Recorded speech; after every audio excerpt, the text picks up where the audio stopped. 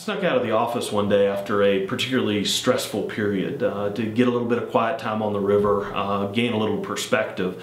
Uh, I ended up getting a little more perspective than I planned on. Um, a, met a young man on the river uh, that had lost his leg uh, in an IED attack outside of Baghdad. A 26 year old Marine from North Georgia that had grown up in the mountains and spent his life fly fishing. Uh, he and I sat and talked for probably an hour about nothing in particular, and he told me how how important fly fishing had become in his life and how he used it to think about the good things.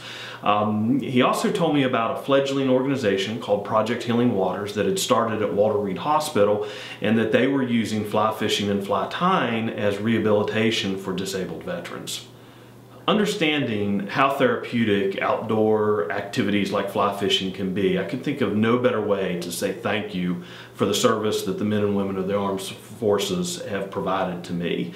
Uh, Project Healing Waters allows me to combine my passion for fly fishing and my background in finance in a great way to give back.